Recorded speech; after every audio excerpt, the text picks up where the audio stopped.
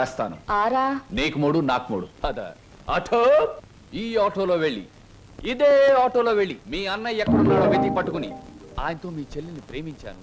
నేను పెళ్ళి చేసుకుంటాను మీరు ఒప్పుకోకపోతే నేను ఒప్పుకోను అంటాను. అప్పుడు ఆయన ఏమంటారు? నీ ఇంటి అడ్రస్ ఎక్కడా అని నిజమేనయ్యా.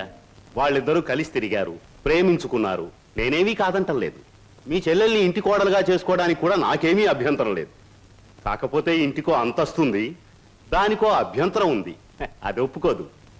మీ అంతస్తుని ఎగిరందుకోవాలన్న దురాశ నాకు లేదు సార్. కానీ పెళ్ళి చేయటానికి ఒప్పుకోను మీ అంతస్తు. మీ అబ్బాయితో కలిసి తిరిగిన నా చెల్లెల జీవితానికి ఏం సమాధానం చెప్తుంది సార్? గుడ్. Very good. ఈ ఒక్క మాట నిన్ను నా అంతస్తుతో సమానం చేసింది. You are correct. అంతేకాదు సార్. మానవత్వం మంచితనమే అంతస్తు అయితే నాకు చాలా గొప్ప అంతస్తు ఉంది సార్. తన యజమాని కోసం ప్రాణాలు అర్పించిన గొప్పవాడు నా తండ్రి. అవును సార్. భూమి తగాదాల్లో యజమాన్ని కాపాడడం కోసం మా నాన్న చనిపోకుండా ఉంటే నా చెల్లెలు పెళ్ళి విషయం మాట్లాడడానికి మా నాన్నే వచ్చేవాడు. ఇంతకీ మీ దేవురు రామాపురం సార్. మీ అమ్మ నాన్న పేరేమిటి? మా నాన్న పేరు రామయ్య. మా అమ్మ పేరు జానకమ్మ. నువ్వు రామయ్య కొడుకువా? అవునండి. మా నాన్న మీకు తెలుసా సార్? తెలుసు.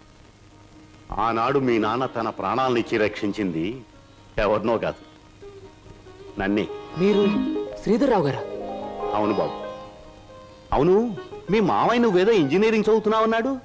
ఈ ఆటో ఈ డ్రెస్సు. అంత అబద్ధం సార్. మీ దగ్గర నుంచి డబ్బు తీసుకొని మమ్మల్ని అమ్మబోయాడు మేము భయపడి పట్నం పారిపోయి వచ్చేసాం. రాస్కెల్. మిమ్మల్ని చదివిస్తున్నా నా నాగే ఇప్పటికీ నా దగ్గర డబ్బు తీసుకెడుతూనే ఉన్నాడు ఏమిటి? ఇంకా వస్తున్నాడా? All right. ఇటువంటి సంతోష సమయంలో వాడి పేరెందుకు తలుచుకోవటం? బాబు ఆనాడు మీ నాన్న నా కోసం చిందించిన రక్తానికి బదులు ఎలా తీర్చుకోవాలా అని ఈనాడు నాకు అర్థం కాలేదు. ఇప్పుడు అర్థమైంది.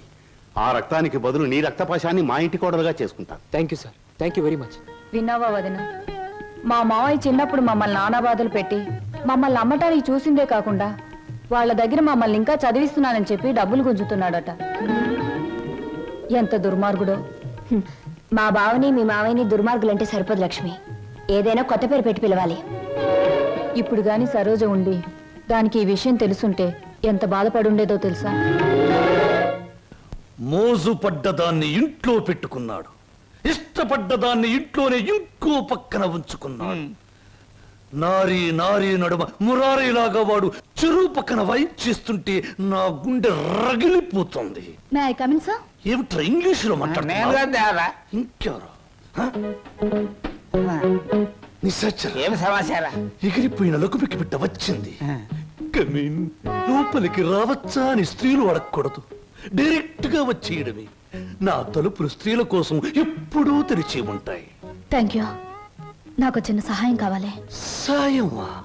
నిశాచరా ఏం. చెప్పండి. నాకు కొంచెం డబ్బు కావాలి. ఓ కొంచెం ఏమిటి ఎంతైనా ఇస్తాను. వేలు లక్షలు కోట్లు. నాకు లక్షలు కోట్లు అక్కర్లేదు. ఓ యాభై వేలు చాలు. యాభై. అవమానం తీరని అవమానం. నాకు లక్షలు కోట్లు ఇవ్వడమే తప్ప వేలు ఇవ్వను. ఓ చిన్న రిక్వెస్ట్. నేను ఇక్కడ ఉద్యోగం మానేసి వెళ్ళిపోయాను. మీరు తిరిగి ఆ ఉద్యోగం నాకు ఇచ్చి ఈ యాభై వేలు అప్పు తీర్చుకునే అవకాశం ఇస్తేనే నేను తీసుకుంటాను. ఇదిగో యాభై వేలు. దీనికంటే ఎక్కువ పది రెట్లు ఇస్తాను. నీ ఇష్టం వచ్చిన పద్ధతిలో నీ ఇష్టం వచ్చిన పద్ధతిలో తీర్చుకో. తీసుకో. ఈ డబ్బు నా పద్ధతిలోనే తీరుస్తాను. హాయ్ ఏమిటి నిరీక్షణ? ఎవరి కోసం? అమ్మయ్యా వచ్చేసారా? టైంకి రారేమో అనుకున్నాను. పదండి పదండి. ఏమిటి కంగారు? ఎక్కడికి పదండి పదండి. రాజ్ కమల్ టాకీస్లో లవ్ స్టోరీ సినిమాకి టికెట్లు తెప్పించారు.